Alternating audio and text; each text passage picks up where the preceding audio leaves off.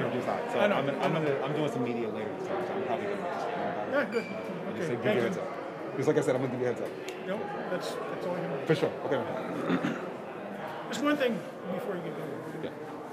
the one, I, I frankly don't take back any of the points I'm trying to make. Some of the words I chose, I do.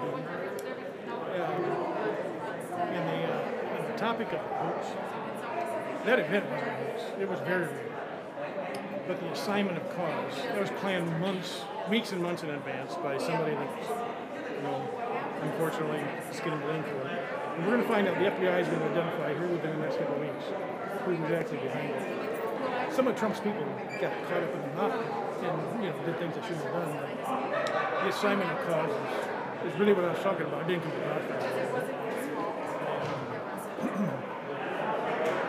And that it was, pretty much a hijacking down there in Hillsdale County anyway. So I don't back off very, very easily. Sometimes I should. Okay.